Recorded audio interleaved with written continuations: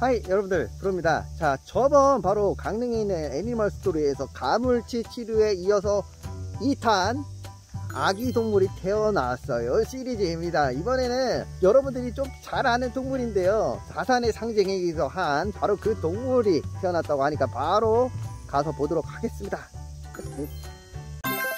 자 여러분들 자 바로 이제 공개됩니다. 지금 여기 보면은 여기 이제 물고기 저기는 또 뭐였지? 하여튼 뭐 새 종류 뭐 등등 해가지고 볼거리가 너무 많습니다. 와 저기 조랑말도 있고 당나귀도 있고 이쪽에 있나 봅니다. 지금 아기 동물을 잠시 담아서 보여주신다 해서 지금 박스를 하나 들고 가시고 계셔요 우와 이거 뭐지? 아 아까 봤던 공작새 여러분들 이게 공작새라는 거 아시죠? 이야 이 꼬리에 딱 이 피콩무늬 너무 멋있습니다 어 오지마 양입니다 어, 쿡.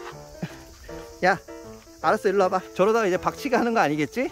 일로 와봐 일로 와봐 와 자, 여러분들 보이시나요? 오늘의 아기동물 시리즈의 주인공은 바로 미니 돼지입니다. 와 안녕. 야 애기 좀 보여줘요. 야 콧구멍 콧구멍 잠깐만.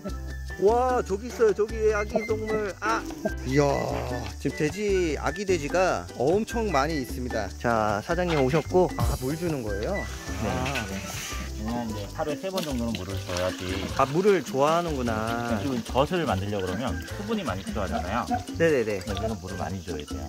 와 아이고야 저기 왜 묻혀있냐 아기 돼지 오 얘 나가요 사장님 나가서 다 잘 들어올 거예요. 아 그래요?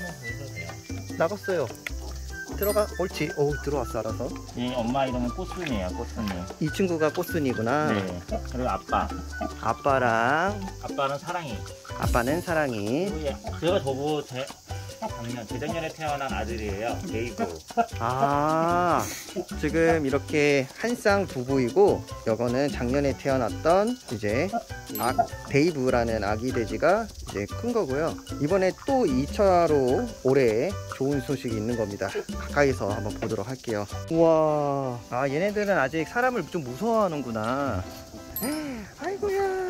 진짜 어, 며칠 정도 된 거예요? 얘는 지금 이제 3일째 됐네요.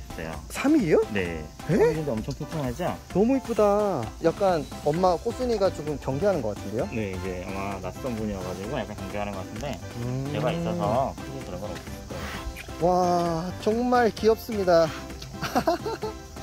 그 인형 같아요 인형 착한 사람이야 걱정하지 마 어, 괜찮아? 어, 걱정 안 해도 돼 근데 돼지 친구들도 엄청 영리하다고 들었는데 교육도 음. 되고 네, 교육도 잘 되고 훈련도 거의 강아지만큼이나 잘 되는 게 돼지들이에요. 그래서 어, 집에서 요즘은 이제 뭐 반려동물로 집에서 키우는 분들이 있잖아요. 네네 그런 분들도 소파에서 같이 생활하고 다 이제 배변 활동은 화장실에서 할 정도로 엄청 똑똑합니다. 와 지금 아기 돼지 친구들을 제가 이렇게 가까이서 볼 수 있는 정도가 이게 한계인 것 같아요 왜냐면 계속 도망가기도 하고 야 이 아빠는 약간 이빨 뭐래 이제 뿔이 있는 것 같아요 입구조가 좀 다른 듯한 그 이게 엄니라 그러죠, 엄니. 네네네 어, 네, 엄니가 있는 성분입니다. 여기 아 보시면 이제 물을 이제 그 엎으려고 그러잖아요. 네네네 저게 이제 엎- 물을 엎어서 기능 목욕하는 습성이 있어요. 아 네, 그래서 물을 계속 엎고 이제 계속 풀어다가 이런 행동을 하는 겁니다.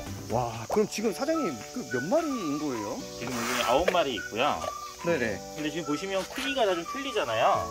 지금 여기 한 마리가 좀 작거든요 저기 있는 친구가 좀 작아요 네, 그 친구는 어. 이제 아마 늦게 태어날 수도 있고 그리고 이제 태어나고 먹이를 찾아야 돼요. 엄마한테. 네네네. 네네. 먹이를 먹을 때 다른 큰 친구한테 빌리는 거죠. 아 그래서 이제 이 중에서 지금 3일 정도 됐으면 초유를 3일 먹기 때문에 면역력이 좀 형성이 됐어요. 네네 큰 친구들을 일부러 빼내고 작은 친구들이 이제 더 저들도 잘 먹게끔 이제 오늘 해줘야 됩니다. 아 그러면 작은 아이를 오히려 엄마 곁에 두고 큰 아이를 빼야 되는 아, 네. 꽃순아 꽃순이 맞나? 먹어 어, 아기 봤는데 좀 착하게 기다려줬네 응. 어 ASMR 너 왜 이렇게 맛있게 먹어? 나 깍두기 먹고 싶다 갑자기 자 들어가세요 아 저기 밑에 구멍이 있구나 아이고 너무 깜찍뽀찍하다 너네 진짜 그래서 모두 미니돼지 많이 키우시는데 키우시는 분들은 아까 보셨죠? 바꿨을 때 그 정도까지 커집니다 얘네는 이제 먹이 먹으러 가는 거잖아요 네, 얘네는 이제 사냥 초유? 사냥 분유. 사냥 분유 네, 사냥 분유를 이용해서 이제 먹이 주면서 사람하고 좀 친해지는 것도 하고 아. 그리고 다른 작은 친구들이 엄마의 모유를 더 쉽게 먹을 수 있게끔. 아. 지금 이제 원장님께서 좀 돼지 중에서 좀 작은 아이들이 있잖아요. 그 젖을 차지하는 게 큰 애들이 독차지를 해가지고 작은 아이들이 엄마 젖을 더 먹을 수 있게끔 하고 얘네 엄마 초유 먹어서 좀 좀 더 건강하니까 다른 이제 뭐였죠? 사냥 분유. 네, 사냥. 네, 분유. 사냥 분유 좀 먹여보려고 합니다. 표정 뭐야? 동물들을 이렇게 하나하나 진짜 잘해줘야 되는데 이런 부분에서 굉장히 리스펙입니다, 진짜. 아 이거 완전 첫 시도이신 거죠? 이번에 태어나. 오 네, 먹는다. 먹죠. 먹는다. 응? 맛있는데? 어 뭐지? 약간 지금 처음이라 약간 좀 고민하는 것 같은데요. 먹고 있어요.